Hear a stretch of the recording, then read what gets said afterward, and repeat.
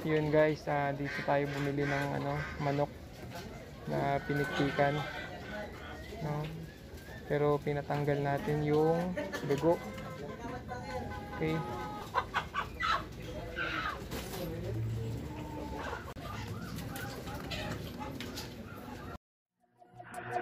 Yeah, that body's a blessing, girl. I ain't trying to pressure her.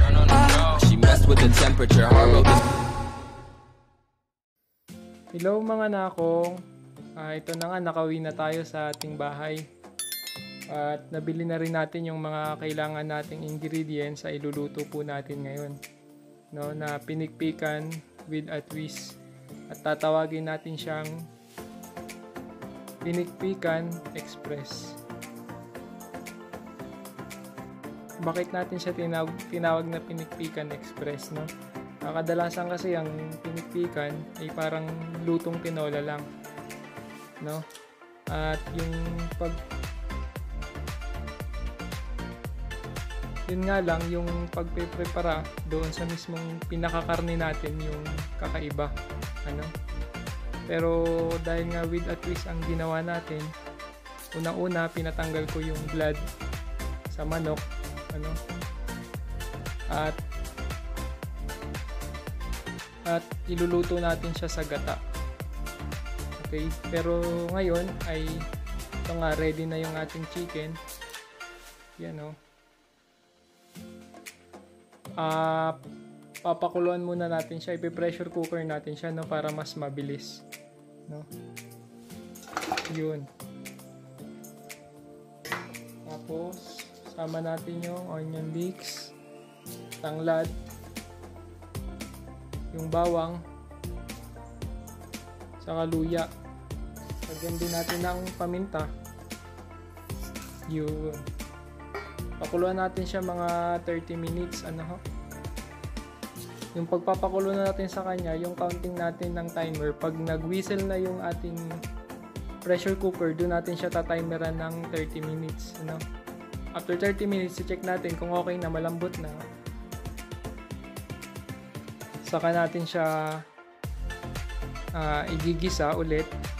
At lalagyan natin ng mga mga iba pang ingredients lalo na yung gata at sili no?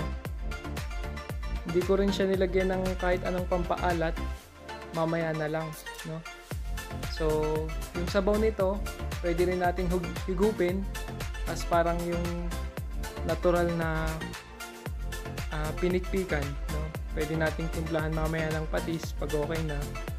Bagay na bagay yun sarap. Sa malamig na panahon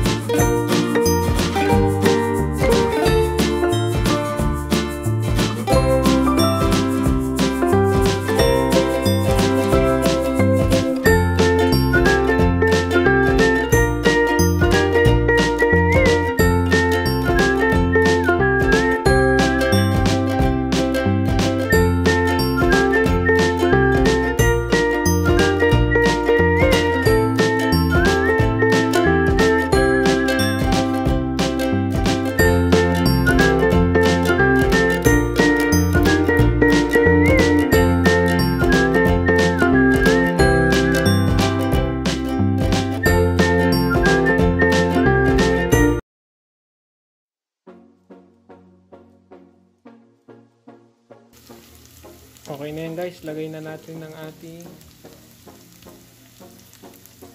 chicken.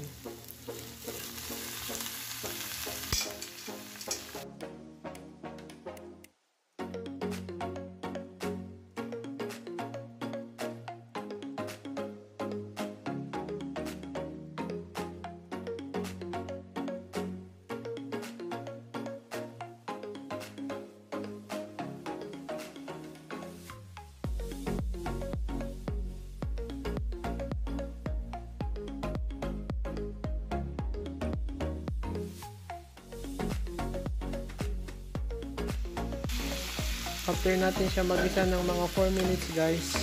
At medyo na, natutuyo na yung mga ibang tubig-tubig niya no?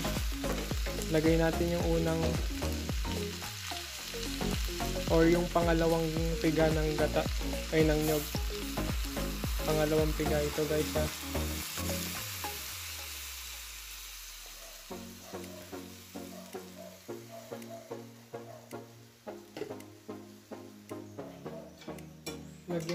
natin siya ng pinagpakuluan natin. No? Dagdagan natin ng konti. Yung pinakasabaw niya Yun. yun. Takpan lang natin siya guys hanggang medyo tumuyo yung gata. After 8 minutes mga nakong naubos na yung ating nilagay na unang gata tsaka yung pinaglagaan. Lagay natin ng isang kutsarang alamang yung alamang natin guys. Nagisa na yan. No, ihalo lang natin siya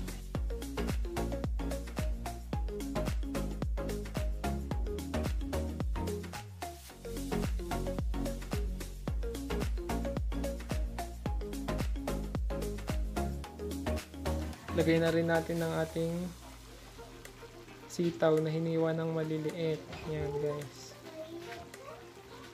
At saka yung tinadtad na atay ng manok.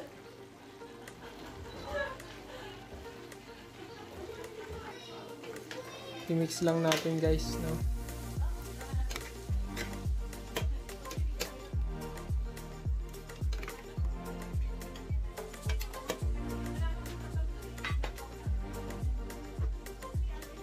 At pakuluan natin ulit ng mga dalawang minuto guys. Hanggang sa medyo tumuyo siya. After pag medyo tuyong-tuyo na siya guys, saka natin lagay yung mismong kakanggata natin. After 2 minutes guys, lagay na natin ang ating kakanggata. Nilagay ko sa rep kaya medyo namuo siya no.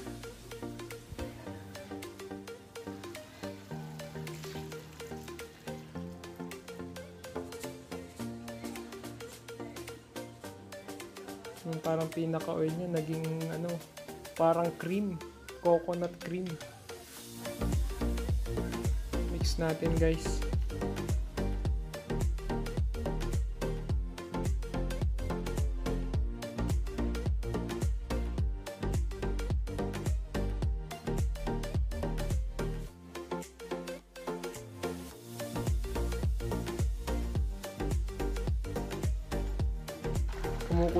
Ulit siya guys. Lagyan natin ng pamintang durog. Half teaspoon lang.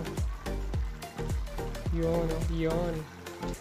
Tapos, lagyan natin ng konting patis guys. Konti lang. Tansay na lang natin. Siguro mga 1 ti- teaspoon din. Oops. Mix lang natin.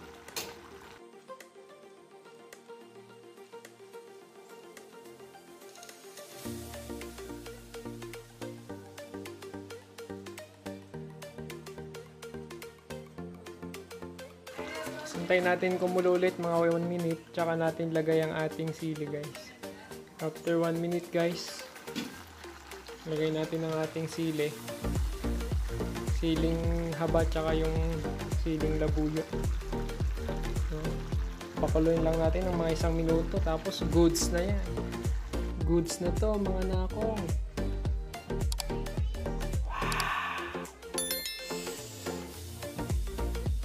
Let's eat na ako.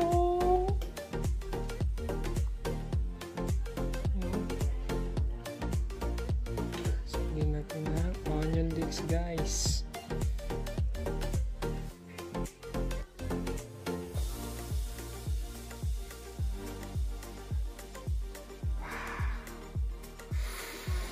Kain